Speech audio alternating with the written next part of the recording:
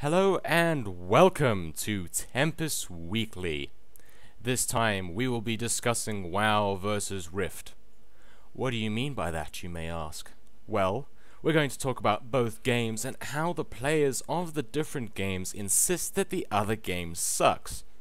First off, we look at WoW players. Now, a lot of WoW players insist that Rift is a terrible game and that it's just a WoW clone. Is this true? No, it's not. It's not a WoW clone, though if you play it, you will notice a lot of similarities. This is completely normal for two games in the same genre, which is the MMORPG. Much like Ratchet and Clank and the Jak series are both in the same genre of platform games, neither of them are clones. Much like StarCraft is not a Command and Conquer clone. Just because a game is in the same genre as another older, very successful game does not in any way make it a clone, and the host of differences that some players may ignore would soon show you this. Is Rift a terrible game? Again, no, it's not. It's very enjoyable in many ways. Much like most MMOs, it can be very grindy at times, but when you're in the middle of a massive invasion with an FPS of 2, it doesn't feel very grindy. Instead, it feels kind of epic, and has you praying to survive the fight you can barely see. Well, unless your computer is a very powerful machine at least. Next up, it's the Rift players side of things. There are a lot of players in Rift that used to play WoW, and these players will insist that Rift is infinitely better than WoW. The truth is, WoW is also a good game. Which one you find more enjoyable or better is truly up to the person rather than the game.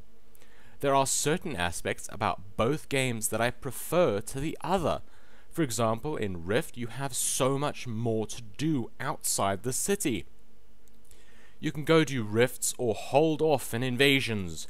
My favorite parts of the invasions are the ones in Ember Isle, allowing players to upgrade the defenses to battle endlessly with the beasts of the plains.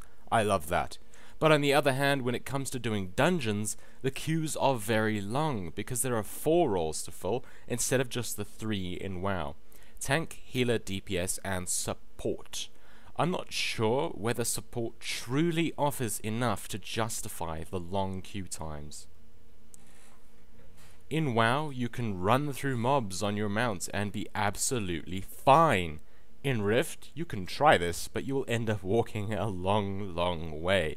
So I prefer being able to just dart through the wilderness without getting dismounted every 5 seconds.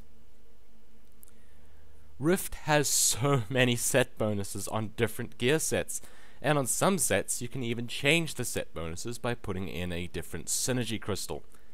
In Rift, you reach max level and continue leveling after that for planar attunement, whereas in WoW, you reach max level and that's that. Now because of Rift requiring a much shorter grind to reach max level, I don't mind having to level after max. But if leveling time increases or planar attunement resets with expansions, I doubt that I will be very happy at all. I hate fishing in Rift and in WoW. Absolutely no change. I hate it just as much in both games. Even though the way you fish in the games is very different and the difficulty of leveling fishing is also very different, I still hate it. Forgive me. Though I will admit not having to equip the fishing poles in Rift makes it so much better so that you can actually fight if you get ambushed while fishing. But then again, watching people fight ferocious beasts with a fishing pole is really funny. Rift puts out a lot of content patches. Now this is tricky. I'm not currently raiding in either game, but I like to finish content before the next amount of content comes out. I can't actually say how this works out in Rift because I simply don't have the first-hand experience and I'm not going to just guess how it works. But in WoW, despite very few content patches, I still feel like they rushed it way too much in Cataclysm. We had Blackwing Descent, Bastion of Twilight, and Throne of the Four Winds, all very fantastic, first-class raids that I loved. But then they got nerfed and Firelands came out when guilds had barely even started heroic progress. Then Firelands was out with so many bugs, but once it was all sorted, it was an epic raid. But again, very shortly it was nerfed, though this time it was probably best, as even the professional guilds were really battling. But then, very shortly after the nerf, they pushed out Dragon Soul. Again, I think this was way too soon, and that we had a very long time to do Dragon Soul, but now players are taking a break from WoW because there isn't really anything to do. They really just should have spread the time out more between patches, and I think that they skimped it on this expansion with a tiny amount of content and not very much time to do it in. Sorry, Blizz, I can't say you did your best work in Cata, and I hope that that changes in MOP.